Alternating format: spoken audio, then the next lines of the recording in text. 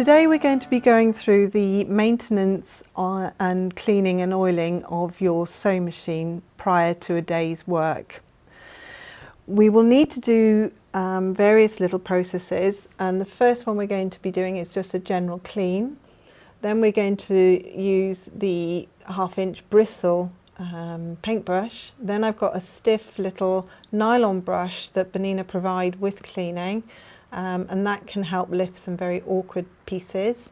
I've got a pair of tweezers in case of needing to find a stray thread, a wooden orange stick, a micro cleaning tip and most importantly some good quality cotton buds. And I do say quality cotton buds because some of the cheaper brands of um, cotton buds leave more fluff than they remove.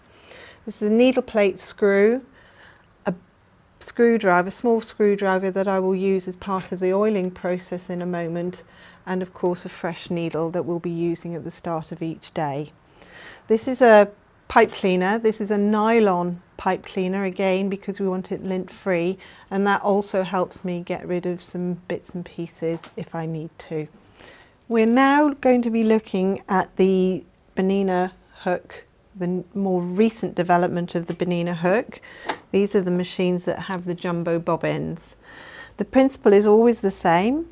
The first thing I'm going to do is I'm going to cut the thread from the point here and I'm actually going to draw the thread with the presser foot in the up position through the machine forward. This avoids lint building up in the tension discs here.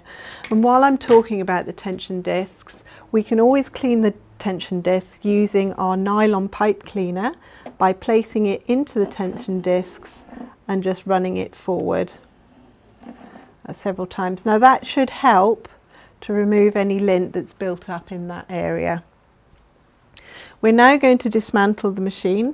We're going to remove our presser foot we're going to ensure that our feed dogs are in the lowest position and unlocked. And then we're going to remove the needle. Then the needle plate and then you can see within there any debris that may have built up in recent sewing. I'm going to remove the bobbin case with the bobbin in, taking the bobbin out, and then I'm going to drop the race forward and remove the hook. So now everything is there ready for us to clean. Now these machines, especially those that have got the thread cutting mechanism, do need a certain amount of care when you clean them.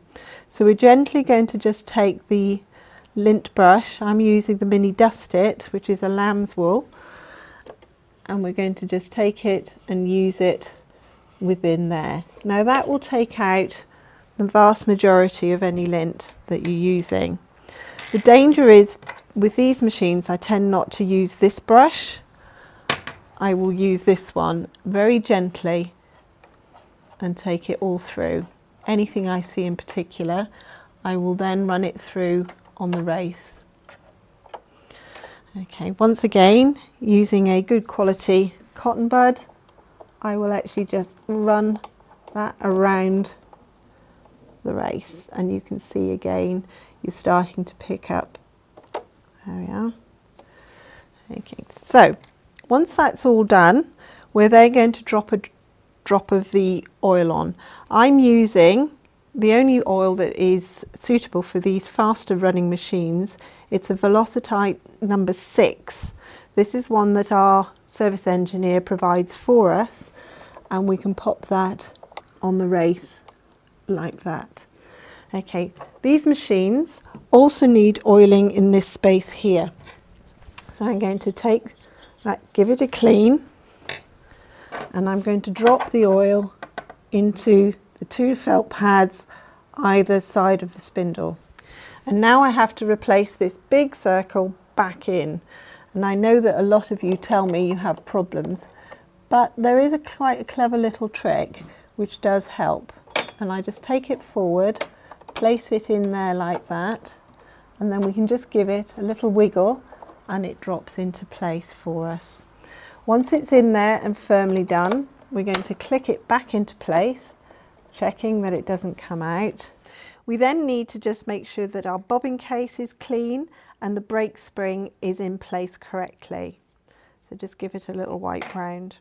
With these machines you have your asymmetric bobbins so it will only go in one way. We need to thread it up correctly, pop it through and then we're going to put it in.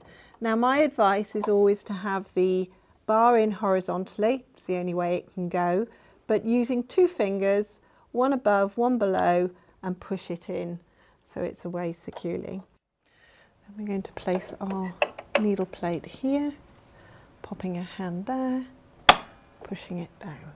Then we need to put our presser foot on like that and then replace with one of the two needles that we've got on the table depending on what it is we're doing.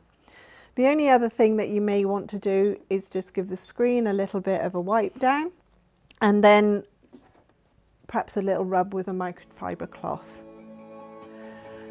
Thank you very much for spending some time watching this video. I hope that it has helped you with um, the confidence you need to take these machines apart and clean and oil them on a regular basis. This helps to keep the machine happy and your project going ahead. If this video hasn't actually answered all your questions, please don't hesitate to contact us so we can help you further. All the products that we've shown we should be able to supply you with also.